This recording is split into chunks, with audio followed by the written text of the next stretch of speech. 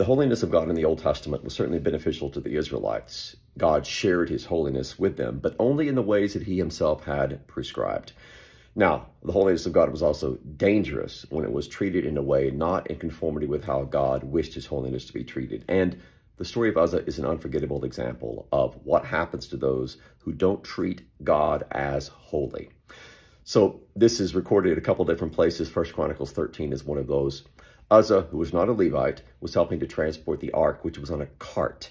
That was not the way the ark was to be transported. It was to be transported with poles and to be carried by Levites. And so uh, a double infringement of how God said he wanted his ark to be treated.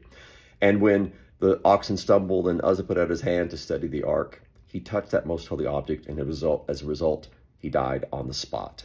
He was not to come into contact with that which was most holy.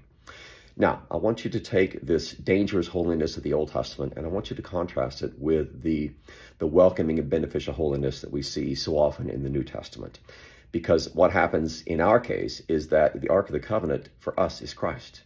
He is the Word who has become flesh, tabernacled among us, and he welcomes us not only to approach him, but to become one with him. That's what happens in baptism. We are grafted into the most holy body of Jesus Christ.